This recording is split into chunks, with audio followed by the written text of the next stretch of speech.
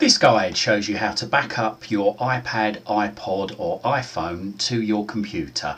Now the best way to back up is through the iCloud because it's fully automatic when you're connected to Wi-Fi but uh, you may have run out of space in which case um, I would suggest purchasing more space because it is the easiest way to back up uh, but if you simply can't afford to uh, purchase more space then uh, this is another way of doing it. Now you need to make sure that you've got iTunes installed on your computer. If you haven't got it installed installed, then uh, you can follow my guide um, in the link uh, which tells you how to install iTunes on a Windows computer.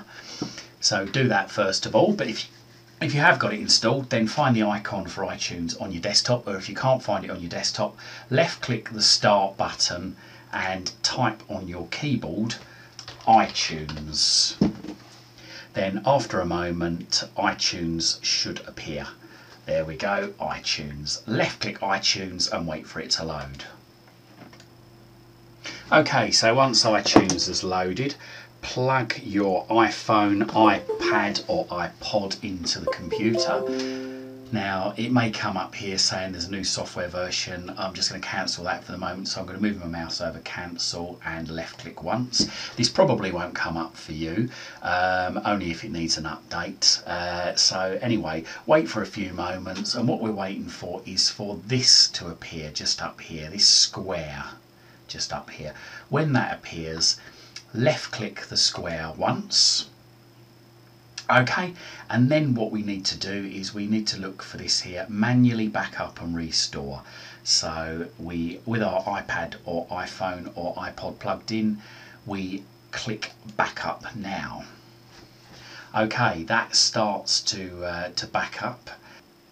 This might take a little while depending on how much you've got stored on your iPhone, iPad or iPod really depends on how long this takes. It could take a few minutes, it could take uh, an, an, hour or so.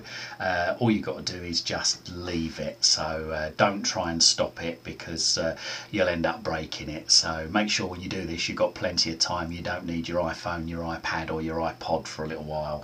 Um, okay, as we can see now we've got this blue line now appeared at the top of the screen which gives us an idea of the progress. So uh, in my case it's moving but very very slowly. It's still got a long way to go.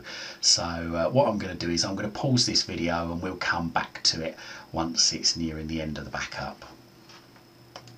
Okay, so my iPad has nearly finished backing up. Um, still uh, it's still backing up at the moment because it's still saying backing up Chris's iPad. So uh, if yours does this just leave it for the time being and we'll come back to it once it's finished. Okay so at the top of the screen there we've gone back to the Apple logo and it says there latest backups today 1308 to this computer. So that tells me it's now backed up.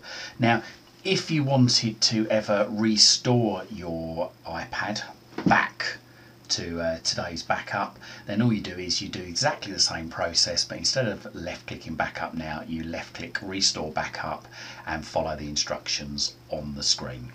Okay, hope this helps. Thanks for watching.